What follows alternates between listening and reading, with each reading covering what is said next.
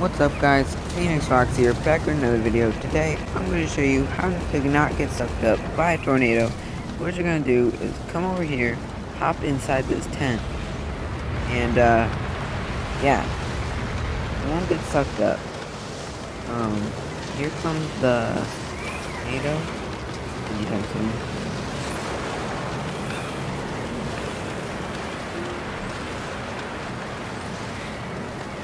Okay, as you can see, we're in the tornado, and it's not sucking me up. I don't know how this works at all, but yeah, I don't know. It could be a glitch, but it, it works, so yeah. I don't know how this works at all, but there you go. And I think I'm gonna end the video there. If you guys like this video, hit the like button. And if you don't want to miss any more of my videos, hit the subscribe button and the bell icon. And as always, peace out.